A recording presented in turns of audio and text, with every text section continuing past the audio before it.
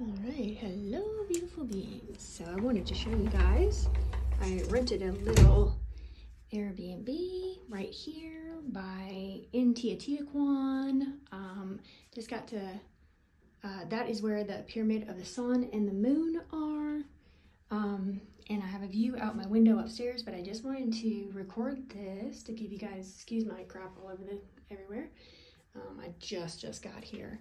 And I just wanted to do a little shout out and just share the space. Um, these people are super nice, very welcoming, very friendly, um, very reasonably priced. This is the shower. Um, nothing big, nothing fancy, but it actually is pretty fancy for for out here. Um, it looks like to me there's a TV, and um, and then it kind of goes up. So got like this kind of ladder loft type vibe to it. And it just goes right up here to the bedroom.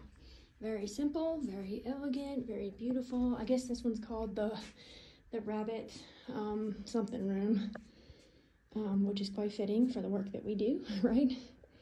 Just follow the white rabbit. So, and from this point, boys and girls, boys and girls, look out there. Pyramid of the Moon, baby. The reason Mama is here. Right outside my window. And so right behind there, Pyramid of the Moon is the Pyramid of the Sun. And I have to tell you guys, you're gonna have to, there's a lot of trash out there, but that's okay. This is, I mean, just what it is. But the willow trees out in this land are absolutely incredible. Nice big clouds. that's also out, that's also out my window.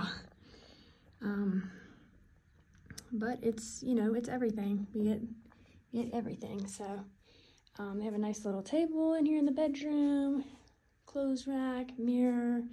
Um, so yeah, very, very, very simple. So uh, tomorrow we will be uh, hanging out at the pyramids all day and then I, I go home on Friday. So very quick, but the work that is being done is profound and I'm very excited for all of it. I love you all. Bye.